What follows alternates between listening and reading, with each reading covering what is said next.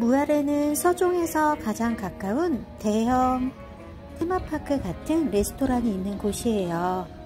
차이니스 레스토랑과 이태리 레스토랑이 있고요. 그리고 숙박 가능한 숙박시설과 수영장도 있답니다. 오늘은 언니들과 함께 맘마에서 식사를 하기로 했어요.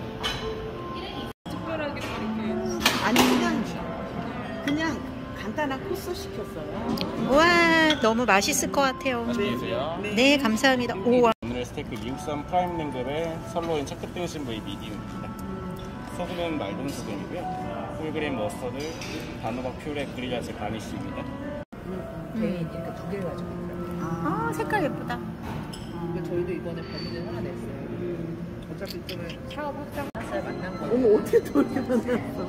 제가 만나려고 하니까 물색이 너무 예뻐서 동남아에 여행을 온 기분이 들었고요. 영수증이 있으면 수영장을 무료로 사용할 수 있다고 합니다. 야경이 정말 멋있었는데 꼭 한번 밤에 방문해 보셔도 좋을 것 같아요. 여기 너무 멋있다. 여기 여기 큰 언니 팔짱 끼고 가세요. 야, 아니 여기 무슨 공주들이 걷는 길 같아. 아, 밤에 또 멋있다.